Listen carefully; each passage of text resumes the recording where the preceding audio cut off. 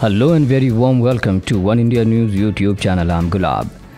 Conspiracy theorists have claimed to have spotted an alien soldier stalking the Curiosity rover on Mars. Photo shows the supposed alien wearing a space suit and carrying a weapon with some believing it has been frozen.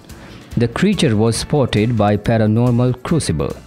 The odd thing about this one is that it does resemble an alien grey or possibly an insect type species of alien, report said. NASA's Curiosity rover has stumbled upon some very interesting findings on Mars and for those of you who are interested into the red planet, their photographs are available online for everyone to see. That's how I came across a mysterious object. Going through their archives, I found something that most definitely looks like an ancient statue. What's even stranger is that it looks like the statue of an alien soldier or something of the kind. However, some people who watched it appear to not to be convinced and have their own theories about what the object is. That's all for now. For more news and updates, don't forget to subscribe to One India News YouTube channel.